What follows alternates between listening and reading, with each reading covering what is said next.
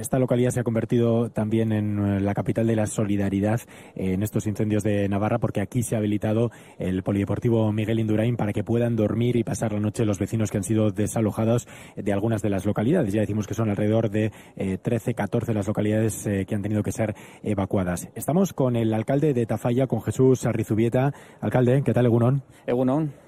Bueno, eh, lo primero, ¿cómo ha ido la noche en este polideportivo? ¿Cuánta gente ha dormido? ¿Cómo, no sé, cuál ha sido un poco la, imagen esta noche de este polideportivo? Sí, pues la noche ha, sido tranquila, lógicamente con la incertidumbre de qué está pasando, eh, sobre todo en sus viviendas, ¿no?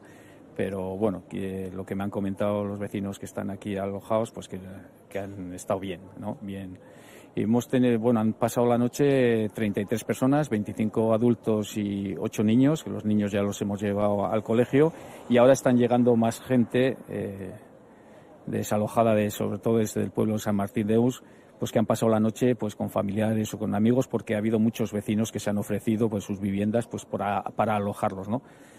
Entre los niños, eh, me decía incluso ucranianos, ¿no? Que han venido refugiados. Sí, sí, tenemos una familia de ucranianos con seis niños y que, bueno, ahora los hemos llevado al colegio y están.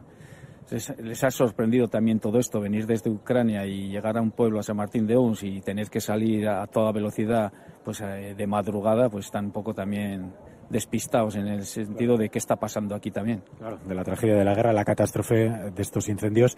Eh, se les está dando de desayunar, de comer, de cenar y me decía además alcalde que con también aquí hay otra dosis de solidaridad eh, de un cocinero muy famoso, ¿no? Sí, sí, nos ha sorprendido porque nos ha venido de Lola Tafalla, del hotel, diciéndonos que el cocinero José Andrés que bueno que pagaba todo el desayuno, la comida y lo que hiciese falta. Entonces, bueno, ellos nos van a preparar, el Olatafalla va, va a preparar, nos ha preparado ya el desayuno para todas estas personas y luego la comida también, pues a cuenta de, este cocinero que le agradecemos un montón, desde luego. Es impresionante, lo único bueno que tienen estas catástrofes, la solidaridad, ¿no? Y aquí los vecinos también de, Tafalla que se están volcando, eh, hay una eh, sensación también de, emoción. Aquí vemos delante a los vecinos, pues que están ahora mismo fuera, hace además eh, calor y empieza a hacer, no aprieta tanto como estos días, pero porque ahí es verdad que hay algo de brisa, pero están aquí los vecinos sentados en unas sillas hablando y a veces pues vienen unos a ayudar, a ofrecerse, ¿no? Y esa ola de solidaridad, desde luego, que es algo que conmueve también. Sí, la, verdad que sí. Nosotros sufrimos en el año 19 las inundaciones y yo me quedo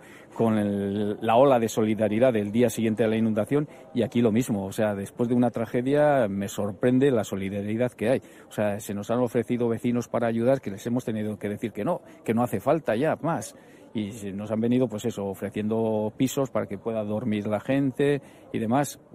La verdad es que te, quedas emocionado. Y yo por lo menos de, Tafalla como alcalde de Tafalla pues estoy muy orgulloso de mi pueblo de mi gente Alcalde, ¿cómo está Tafalla en cuanto a los incendios? Porque aquí creo que afectó uno eh, de los primeros, ocasionado por un rayo, pero no acaba tampoco de solucionarse, ¿no? No, no, no termina. La noche del martes que hubo una tormenta de estas eléctricas, de tormenta seca, cayó un rayo en un pinar en la carretera que va hacia Estella y se nos ha reactivado cinco veces. Y luego, bueno, hemos, tuvimos también otro incendio producido por una cosechadora, ya ese muy cerca de un polígono industrial que nos preocupó mucho, y otro incendio más en una central eléctrica cerca del Monte Plano, y ese sí que nos preocupó porque si se nos quema el Monte Plano, que es el pulmón de Tafalla, hubiese sido un desastre medioambiental terrible para Tafalla. ¿Las perspectivas son optimistas o todavía no? Todavía es pronto para serlo y están todavía preocupados por lo que pueda pasar por los alrededores de, esta localidad. De los alrededores de Tafalla, yo creo que dentro de, la situación preocupante, bueno, lo tenemos controlado. Lo que nos preocupa es la, zona de, San Martín, la zona de, de Ujue, toda esa sierra, todo el tema de la Valdorba, porque también va a ser un desastre ecológico importantísimo, porque yo no he estado en la zona, pues lógicamente no, hay permiso para pasar, por allí, pero me decía el jefe de Policía Municipal de Tafalla que es desolador, desolador y que cuando lo veamos, que podamos pasar y lo veamos, pues eh, decía, es para echarse a llorar como se ha quedado. Jesús Arrizubieta, alcalde de Tafalla, muchas gracias. A vosotros.